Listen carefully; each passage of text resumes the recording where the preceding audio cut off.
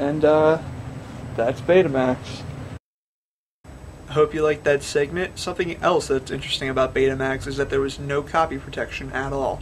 So if you ever tried to copy a VHS tape to another tape, like a commercial tape, like a movie or something, usually you'd probably end up with some weird coloring on your duplicate tape, which was because of macrovision. Now the same thing happens if you take a DVD and you run it through your VCR and you try to record it, it won't record properly. With Betamax, there wasn't any copy protection at all, so you just copy from tape to tape to tape, just keep going. Perfect, well not perfect, but pretty perfect copies after every duplication. So without further ado, we're going to go into our next segment, which is vocoding with the stylophone. So what I have here is the stylophone. Now the stylophone is a pocket synthesizer. Uh, show you turn it on here. Pop out this little wand.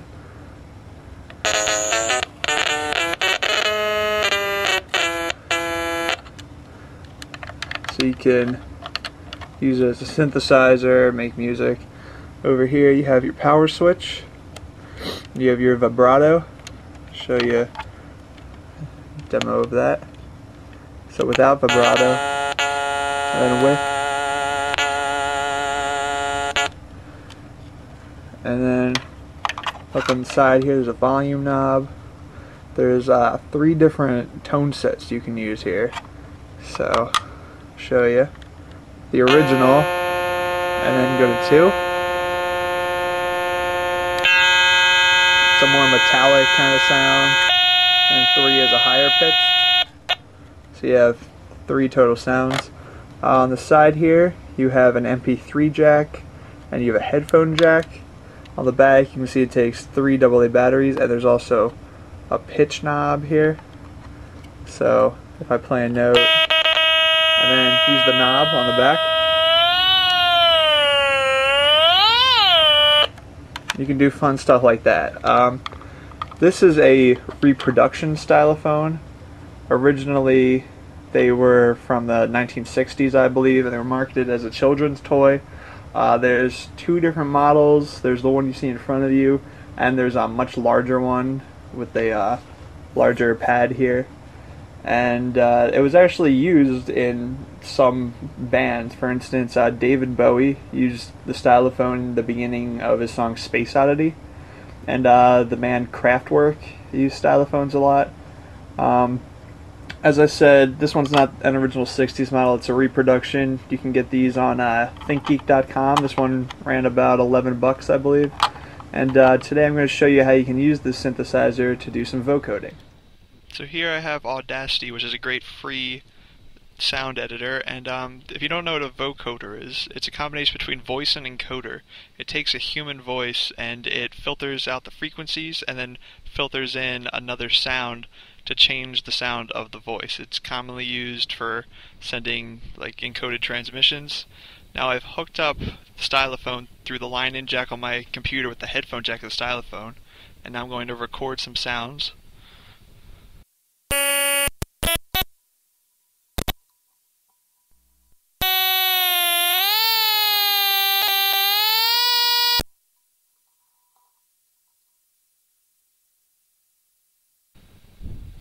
Okay, so that end one was a good one. So I'm going to take that and I'm going to cut it.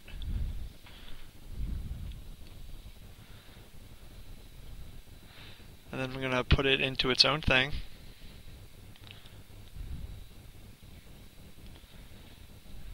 And I'm going to export it as a WAV file. I'm going to need to do this because uh, the program Zerius Vocoder requires WAV files and save it as stylo.wave just so I know what it is. And I'm going to go into Zerius Vocoder. This is a great free program. I'll have a link to this up. And uh, the modulator file, I'm actually, I have it already specified. There's a modulator file that's included with the program. So just use that. It's a simple voice counting. And then uh, carrier file is my stylophone file. So I'll select that and the output file just something I named. Testing one, two, three.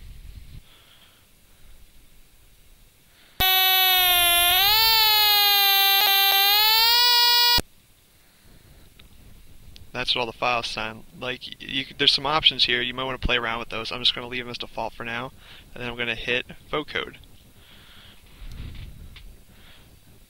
And that's it. The file's done encoding. So now I can go listen to it. Testing one, two, three.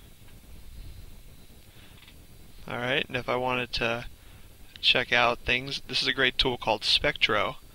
Now I'm going to open the file here. And uh, Spectro is a pretty great tool.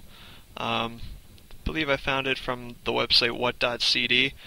Basically, it's normally used to check to see if any of your music is from the correct source. For example, like if you have a FLAC file, you want it to be lossless. You don't want it to be like a transcoded, like a 128 kilobit per second file. Uh, so it's great to check out your own audio files just to make sure they're not duds. I'm going to open the modulator file that came with the program. This is the simple counting voice. And we're going to check that out. So this is what that file looks like. See that right there. And uh, next I'm going to open, I believe, the stylophone file.